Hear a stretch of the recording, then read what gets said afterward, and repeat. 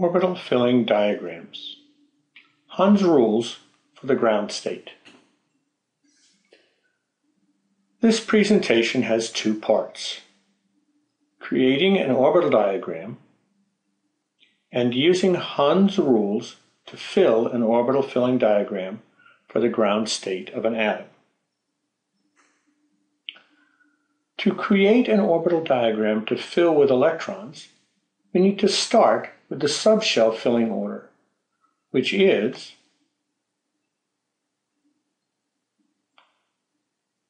And we need to remember the number of orbitals each type of subshell has. S-type subshells have one orbital, P-type have three, D-type have five, and F-type have seven. Next, we start with the lowest energy subshell, the 1s and place the label and a circle for each of the orbitals in the subshell. In this case, there is one orbital, so we draw one circle. The next lowest energy subshell is the 2s, which also has only one orbital, so one circle. Then the 2p subshell, which has three orbitals and therefore three circles. The 3s and the 3p come next, and then the 4s. Next in the order is the 3d, which has five orbitals and five circles. Then the 4p. 5s, 4d, and 5p come next, then the 6s, 4f with 7 orbitals, 5d, and 6p. Finally, the 7s, 5f, 6d, and 7p. And this provides us with enough orbitals to do the ground state configuration for every element in the periodic table.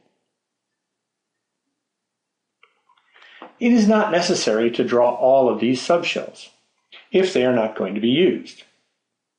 Draw only as many as you know you need. This will depend, of course, on how many electrons you need to place in the diagram, which depends on what the element is. Let's begin by doing the orbital filling diagram for nitrogen, which has seven electrons. Once we have created the diagram, we need to place the electrons in the diagram. Hund's rules tell us how to do this. Hund's rules are rules for placing electrons to create the ground state, that is, the lowest energy arrangement of electrons, of the element.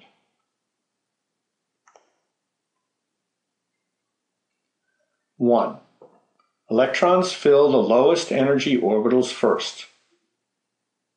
This means we put the first electron in the lowest energy orbital, the 1s.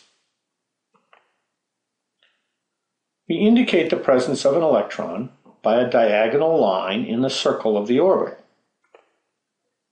This diagonal line indicates the spin of the electron. It does not matter whether you draw it tilting to the right or to the left.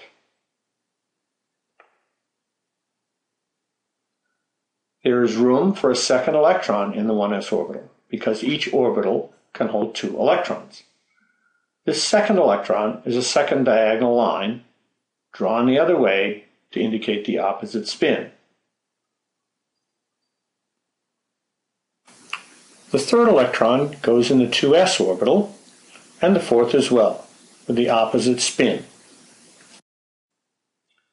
The fifth electron goes in the 2p subshell, and you can put it in any of the orbitals because they are equivalent.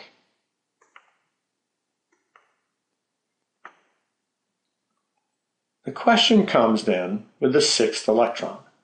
Where does it go? It could go in the same orbital as the fifth electron, or in one of the other two.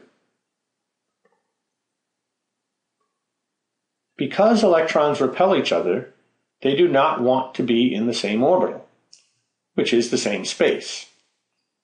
So, when we have degenerate orbitals, The electrons will spread out as much as possible in the orbitals to get as far away from each other as possible. We still have a question, however. The sixth electron clearly goes in one of the two empty orbitals in the 2p subshell. Which circle does not matter. But does it have the same spin as the first electron or the opposite spin? That is, we could have the sixth electron with the same spin, like this, or with the opposite spin, like this, which is lower in energy. It is not immediately obvious, but experimental work confirms that the lowest energy state is the one in which the electrons have the same spin. So the electrons are spread out and given the same spin like this.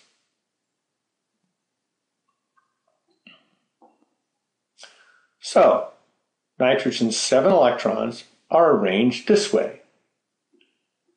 Two in the 1s orbital with opposite spins, two in the 2s orbital with opposite spins, and one in each of the three 2p orbitals with the same spin.